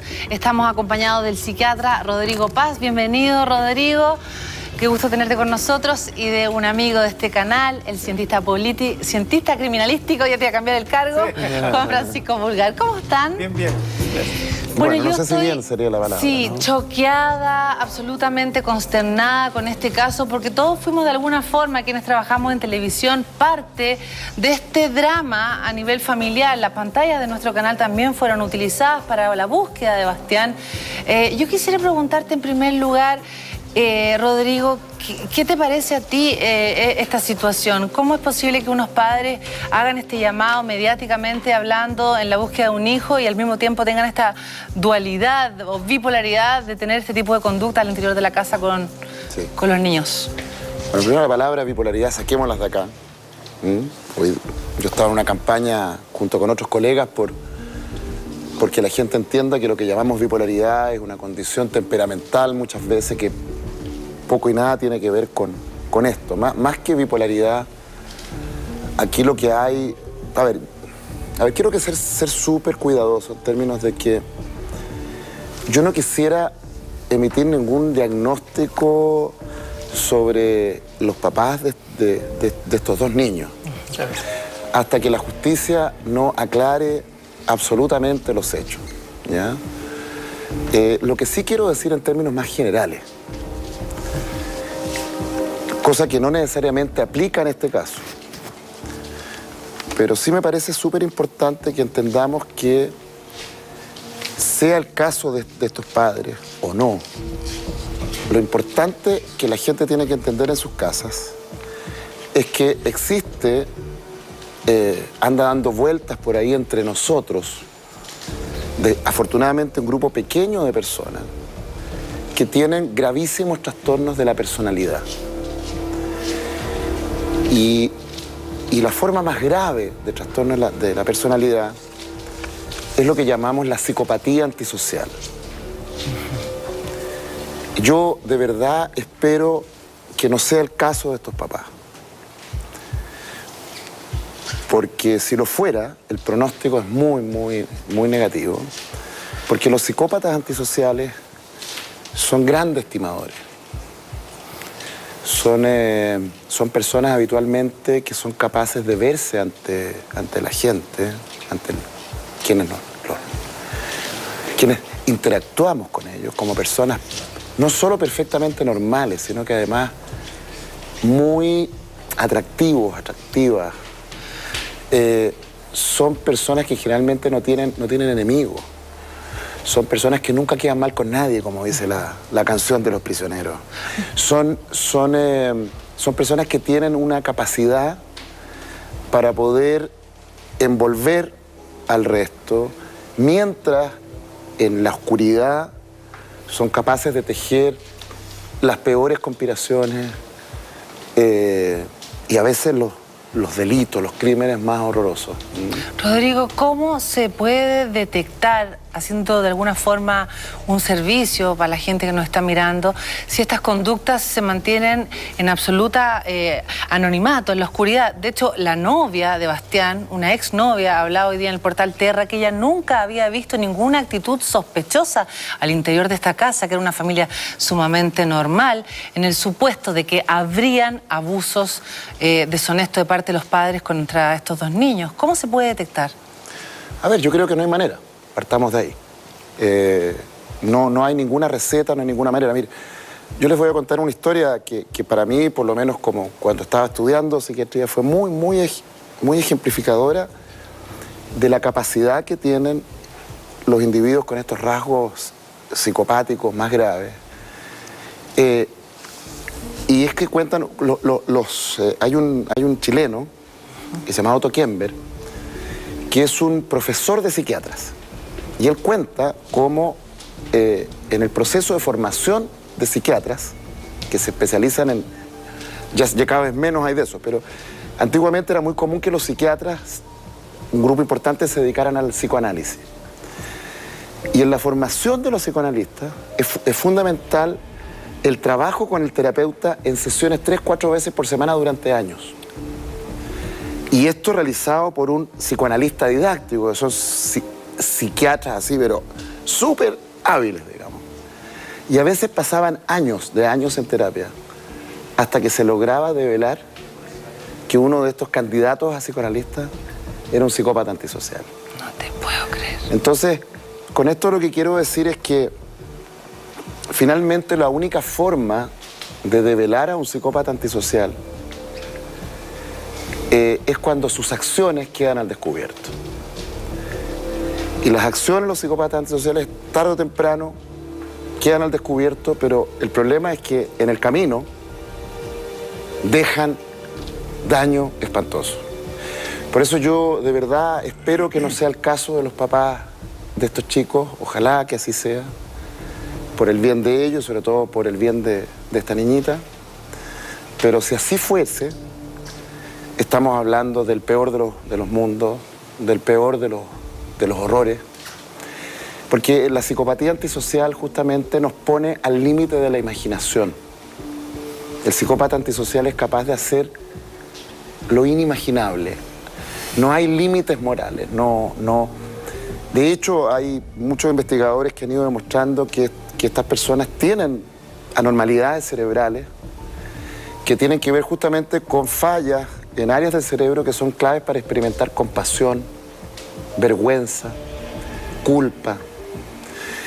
Eh, en cierto sentido, esta frialdad emocional, que es, que es recubierta, disfrazada con histrionismo, con una capacidad seductora enorme, pero esa frialdad emocional es claramente un fenómeno anormalmente biológico. Es como que en definitiva tuvieran una parte de, sus emociones absolutamente congeladas, es un poco así, ¿no? Como que eso estuviera... Es peor que el congelar, porque en realidad ni siquiera es que estén congeladas las emociones. Las áreas del cerebro que se requieren para experimentar compasión. Porque, a ver, imaginemos un adulto que es capaz de torturar a su propio hijo. Pero... Insisto, no, no, no estoy diciendo que este sea el caso, por favor. Pero si este fuera el caso, y sabemos que hay casos que, así lo son, estamos hablando de un adulto que es capaz de torturar a su hijo, a su hija, hasta la destrucción completa. Eso, eso es, una, es una enfermedad. Eso, eso no es normal.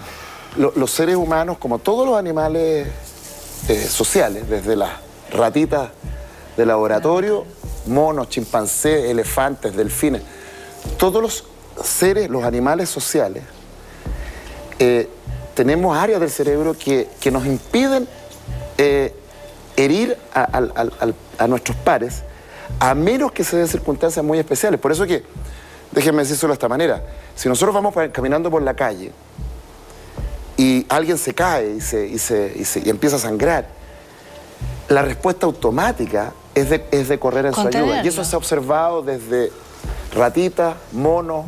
Bueno, los psicópatas antisociales tienen, no tienen funcionales las áreas del cerebro que les permiten eso. Rodrigo, hay algo que a mí me preocupa. Si es que no podemos leerlo, no podemos identificarlo como mamá, como parte de esta sociedad, como comunicadora, me gustaría que nos contara al regreso de este corte cómo podemos protegernos y también entrar a conversar contigo también, Juan Francisco. Volvemos de inmediato, no se cambie esto es mentiras verdaderas acá en la red.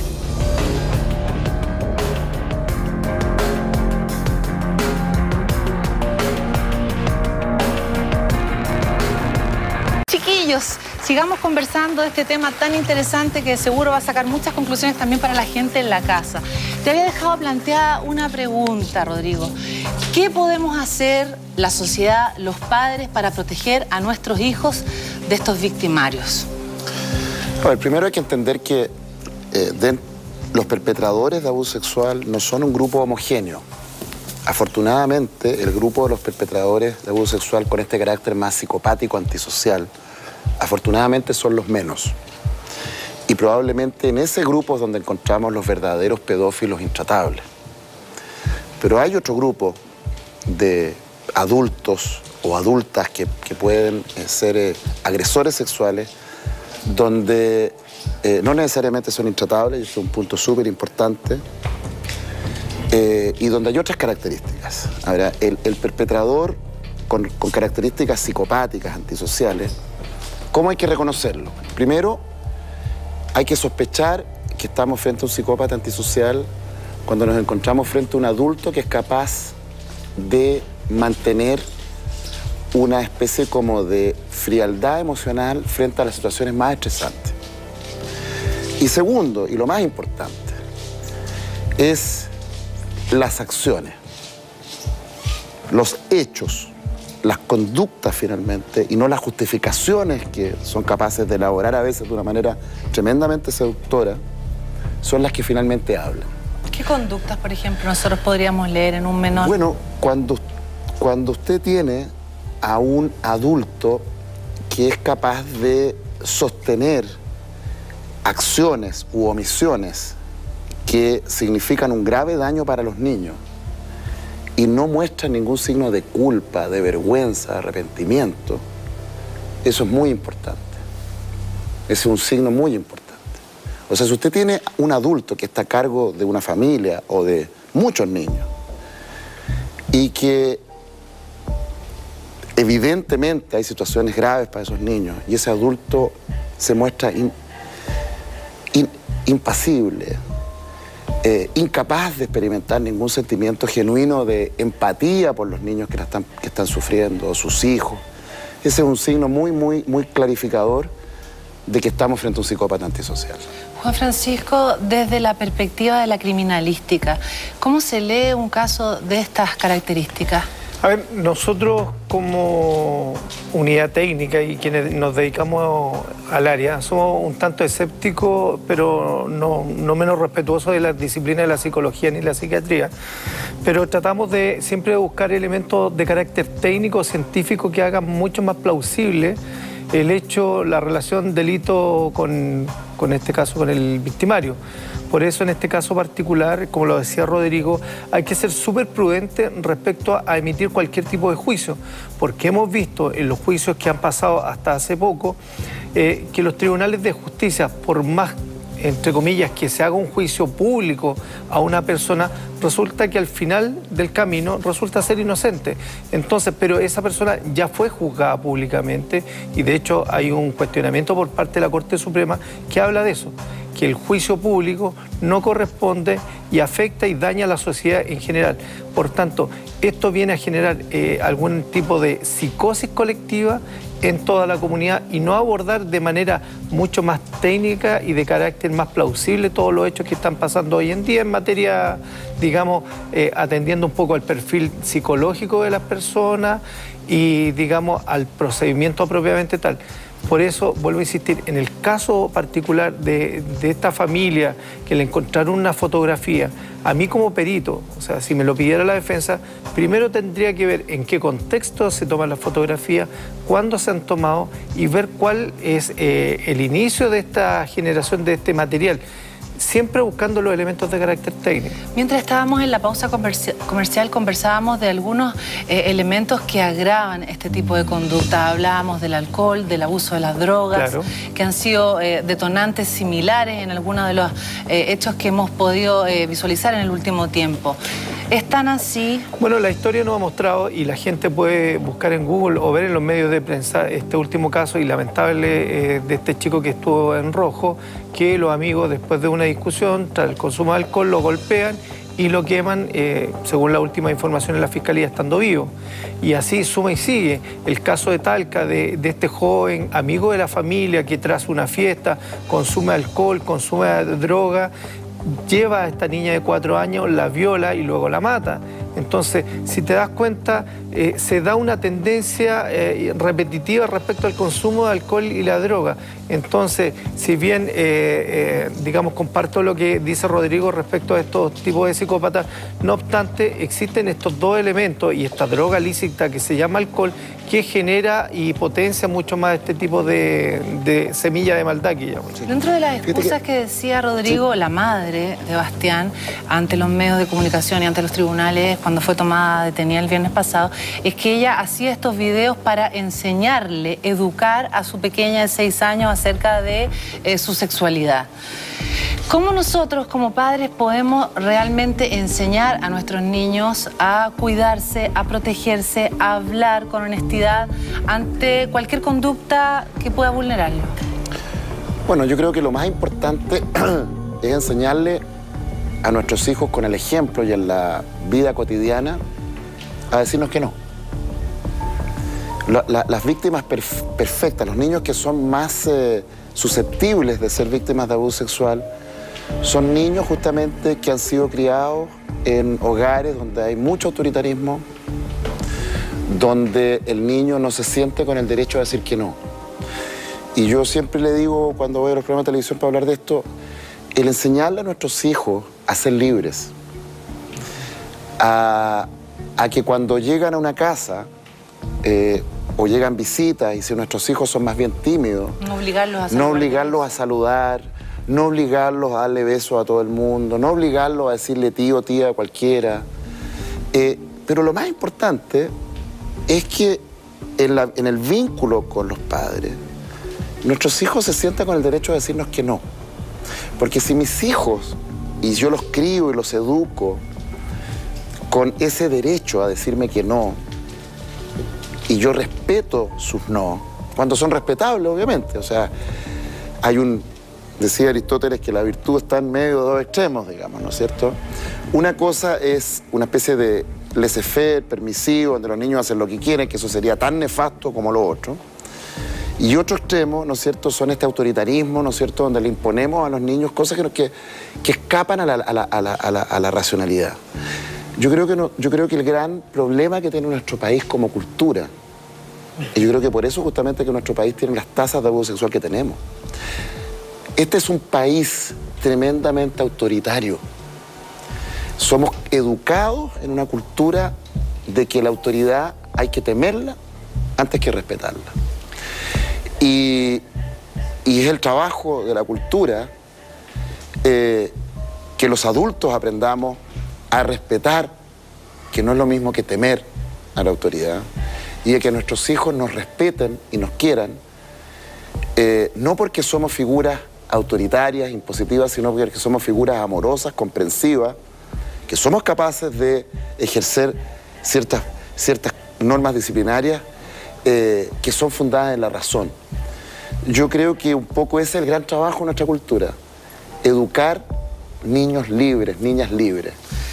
Quisiera aprovechar los últimos minutos del programa para poder entregarte algo a ti en casa. ¿Qué perspectiva eh, o qué señales desde la criminalística y también desde la psiquiatría debemos leer o tú has visto que se leen al momento de detectar a un niño que es abusado? ¿Cuáles son las señales bueno, El, gran problema que se presenta hoy en materia penal es el relato, el primer relato, aquel que no sea inducido ni eh, inoculado.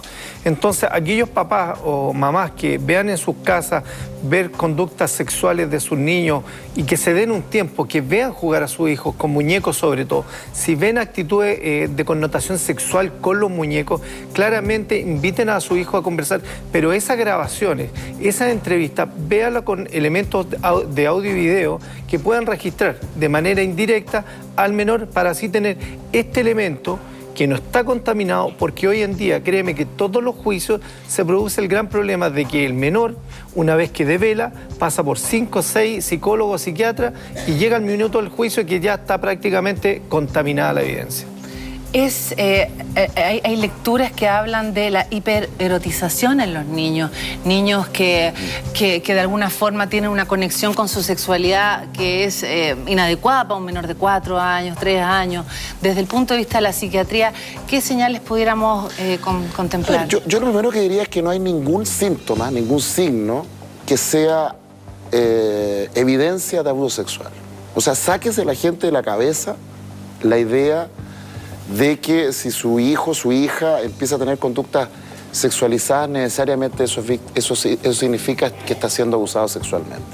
De hecho, los niños y las niñas tienen juegos sexuales que son forma parte de su desarrollo normal. Eso está presente desde los monos hasta los seres humanos. ¿A qué edad?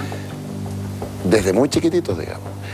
Entonces yo diría que lo más importante no es una conducta u otra. Yo creo que lo más importante es que los papás, y esto es difícil decirlo y hacerlo, porque hoy día vivimos en un país donde estamos todos sobreexplotados laboralmente, con cada vez menos tiempo para estar con nuestros hijos, y eso es todo un temazo que daría para otro programa en términos de cómo se previene el abuso sexual. O sea, la gran prevención del abuso sexual son papás, mamás, que estamos con nuestros hijos, que jugamos con ellos, que, estamos tranquilos y, podemos, y podemos estar con nuestros hijos en un ambiente de juego, de interacción, que es un poco lo que Francisco decía. Entonces yo diría que el gran, el gran llamado sería, hay que creerle a los niños más bien, hay que generar condiciones de intimidad y, la, mejor y, la mejor situación de intimidad no es, no es hacerle interrogatorios, porque los niños no funcionan así hay que jugar con ellos, hay que tirarse al suelo, jugar a las bolitas, hay que tirarse al, al suelo y jugar con los muñecos. Con... Ahí es donde el niño aparece y además aparece el niño de uno. Y es en ese diálogo del niño que uno tiene con el niño que está al frente donde se abre el mundo. Y cuando eso ocurre, nuestros hijos nos van a decir, nos van a hablar. Y aquí lo más importante es creerle a los niños. Mire, todos estos casos tremendos que han habido, todos han sido situaciones donde ha, donde, donde ha habido un adulto que no le ha creído a un niño. Mire, pongo el caso dramático de los niños que estuvieron, 12 niños que fueron encuestados en una encuesta de, de UNICEF Chile, 12 niños declaran en noviembre del año pasado que están siendo víctimas de abuso sexual y hasta el día de hoy, me van a perdonar, el director del Servicio Nacional de Menores aparece diciendo que en realidad no se confundieron, etcétera, etcétera. Horror. A los niños hay que creerle. Hay otro niño, Daniel Ballestero, fíjese, un chico de 17 años que estuvo un mes en una cárcel del Sename diciendo me quieren matar, por favor, ayúdenme. Le llegan la información hasta la Dirección Nacional de Sename, nadie le cree y finalmente el chico termina asesinado, cuchillado. O sea, a los niños, a los jóvenes, hay que creerles. Y a los que hay que creerles, desde tu perspectiva, Juan Francisco, es a los psíquicos. ¿Por qué la Policía de Investigaciones, no solo en Chile, sino que también en otros países, utiliza psíquicos para la búsqueda de personas perdidas? Como el caso de Bastián, que está siendo buscado por la psíquica de Chimbarón. Claro, para contextualizar y terminar el tema de los niños, los niños no mienten pero sí son susceptibles a ser inoculados e inducidos. Eso hay que dejarlo súper claro. Y lo otro, que respecto al uso de la psíquica, si bien son de carácter orientativo, no necesariamente eh, las policías llegan a ser, eh, llegan a ocuparlos para sus conclusiones finales en sustento técnico y científico. Pero sí todo el respeto para ella porque al final vienen a colaborar en una situación de crisis de una familia o de un grupo entero. Eh, es tremendamente interesante todo lo que hemos hablado esta noche. Yo me imagino que hay muchas más páginas para poder seguir escribiendo y poder considerar. ¿Algo que agregar, Rodrigo? Sí, a mí me, gustaría hacer un llamado. En los últimos minutos del programa. En la última encuesta nacional de violencia eh, en la infancia de IMARC, tres de cada cuatro niños chilenos relata que en su familia presencia situaciones de violencia o recibe directamente violencia física o uno de cada diez que está siendo víctima de abuso sexual. Hoy día tenemos transversalmente instalado en todos los segmentos de la sociedad un enorme volumen de niños que están siendo víctimas de las más diversas formas de violencia. Creo que frente a eso no queda otra cosa que unirnos. Mañana sesiona la comisión investigadora de la Cámara de Diputados, está invitado eh, el arzobispo de Santiago declarar, él va a ir, nosotros vamos a estar allá y vamos a estar allá no para, para apuntarlo como el dedo, con el dedo, como, como, como quisieran algunos. Vamos a estar allá para pedirle al arzobispo de Santiago, a los pastores de las iglesias evangélicas, a todos los políticos, al presidente de la República, a las candidatas a la presidencia de la República, que hoy día hagamos un tremendo esfuerzo nacional por acudir en ayuda de los niños. Lo que tú mencionabas, Francisco, todo el tema de la revictimización en los juicios, es un tema que se resuelve creando dispositivos, invirtiendo en redes de psiquiatría, salud mental, abordaje a estos niños, para que no haya más niños muertos en las cárceles de Ensename. El viernes hubo un motín en el CIP San Joaquín, 25 niños heridos. Esto hoy día en el Ciudadano. Todavía no sale. Nuestra infancia está sufriendo hoy día en la intimidad del hogar y en, y en el Sename y en otros lugares. Unámonos a defender a nuestros hijos. Que así sea, que así se logre. Yo este aplauso se los quiero brindar a los dos. Rodrigo, Juan Francisco, muchas gracias por estar con nosotros. Se nos acabó el programa, me encantaría seguir por mucho tiempo más, pero mañana nos encontramos en punto a las 10 y media con más entretención, más información aquí en Mentiras Verdaderas. No se mueva de la red porque ya está el mejor grupo de Así Somos listos para entretenerlos. Chao, chao.